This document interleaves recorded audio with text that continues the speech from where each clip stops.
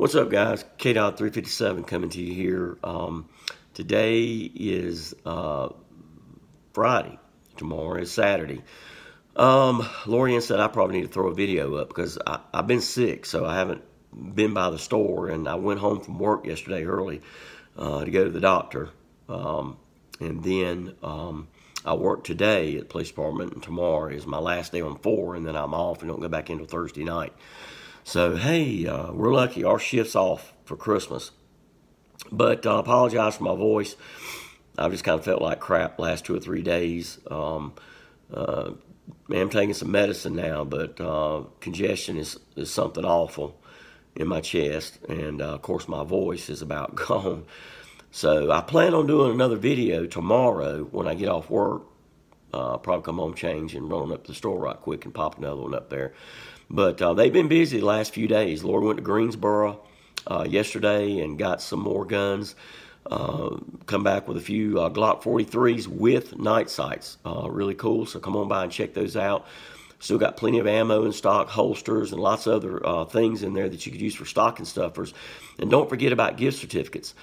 You know, if you're like me, you know, you bought your parents everything you think you could buy, your, your kids or whatever, or your friends. So don't forget the gift of safety if you run out of, run out of ideas. They don't have a concealed carry permit, even if they don't want to carry concealed, they're going to a lot about, learn a lot about the law as far as when they can use force and use deadly force and things like that. So, um, but our concealed carry classes, we've got another one set for uh, the 2nd of July. Of, oh, Lord, the sickness is affecting my brain. This the 2nd of January, which is on a Tuesday, the 6th and the 20th of January, which are on Saturdays.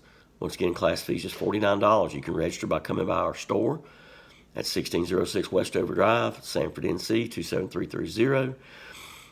Um, or you can call call the guys up on the phone. They can get you registered over the phone. Uh, if you want a gift certificate, um, ideally it would be good if you come by the store so Lori could fix you up a nice little gift certificate. You can get a gift certificate not just for concealed carry, but we've had people just buying, can I buy a gift certificate for the store? Absolutely.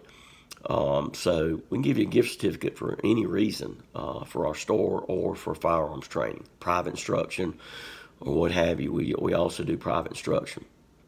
So I'm going to sign off here. 4 o'clock comes pretty early in the morning. Uh, like I said, my last day on 4 tomorrow, and then hopefully, Lord willing, I'll be well for Christmas Eve and Christmas Day, and then we go back in Thursday night. But uh, a little bit unconventional tonight because I'm not used to doing videos like this in my house um, with no uh, tripod and the lighting's not right and all that. But hey, it's, it's, better than nothing and thought that counts, right? And listen, speaking of that, um, we greatly, greatly appreciate your business. Um, you know, this year is four years that we've been in business, and it seems like it was yesterday.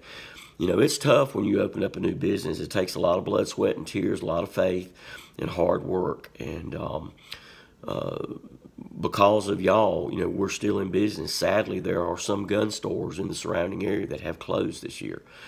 And, um, you know, when Trump got elected, I'm going to be honest with you, I mean, it, it, it, hurt the gun business a little bit because, you know, I think the urgency to buy a gun is not there. We're still selling a lot of guns, but it's not the frenzy um, that it was. So I think it's the urgency is not there because people really, honestly, I think they feel safe about um, their rights uh, to possess a firearm the Second Amendment and so forth. Let another election year term come around, and, and who knows how things will be again. But anyway, um, we'll see. So, thanks again, guys, for your business. I'm wishing you and yours a very, very Merry Christmas. Stay safe. Well, I need that's backwards, actually my little my little slogan: "Stay armed and stay safe." And uh, hope you have a wonderful Christmas, and I hope you're blessed. I hope you got plenty to eat, warm place to stay. There's so many homeless people out there. You know, we need to pray for these people.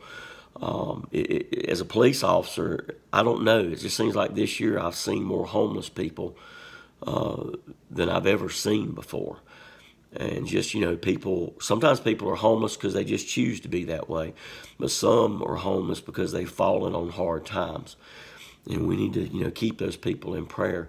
I mean those people out there are somebody's mama somebody's daddy somebody's son somebody's daughter you know. So uh, let's keep these people in your prayers.